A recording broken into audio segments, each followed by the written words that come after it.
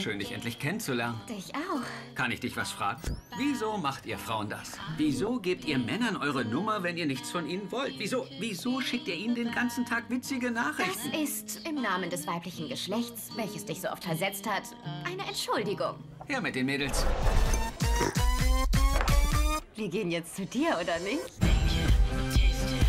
Böses Mädchen. Oh ja.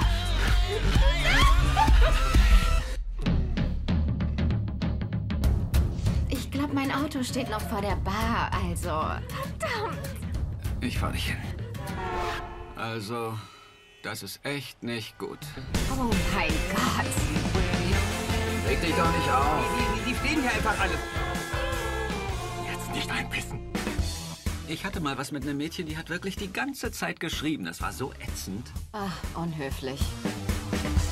Findest du nicht, wir sind über die Woher kommst du Smalltalk-Phase hinaus, Craig? Ich heiße Guy. Der Spaß kommt für uns erst, naja, wenn wir, wenn wir kommen. Volltrottel. Ich meine nur, dass es keinen Grund gibt, wieso wir nicht ehrlich zueinander sein sollen. Was war deine längste Beziehung? Diese? Nicht cool.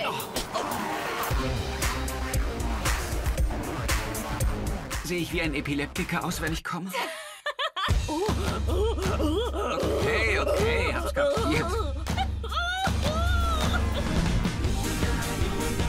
Ich sollte jetzt wirklich nicht hier sein. Wenn du rechtzeitig abgehauen wärst, wie sich das für einen One-Night-Stand gehört, dann wären wir jetzt nicht hier.